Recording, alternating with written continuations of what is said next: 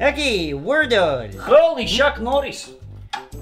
It was solid workout. Hey, but you do not even have any transpiration. Have what? You know the liquid that come out of your body. What kind of workout you think I do? What he means is perspiration or sweat. You know, like moisture that comes out of your skin. Moisture.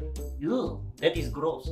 What does that have anything to do with my workout? Because you do not look like you got tired. What tire? I don't have car. Why would I get tired? Sacrifice. I think you lift too much dumbbell. What was that? Laisse tomber, Chris. Uh, uh, folle. Tabarnak. Okay. Um, uh, what was that word you say near? Sweat? Yeah, sweat. How do you spell it? Seriously? We're doing homework now?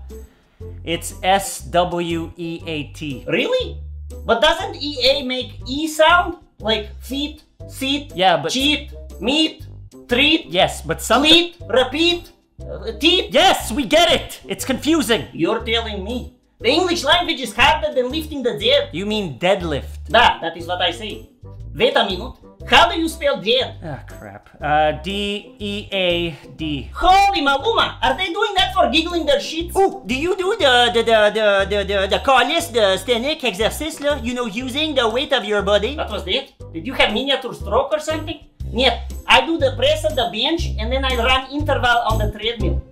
Wait, how do you spell treadmill? Uh, you had to go there. Ah, tread! I got it! Wordle. It only took me three try. Three try.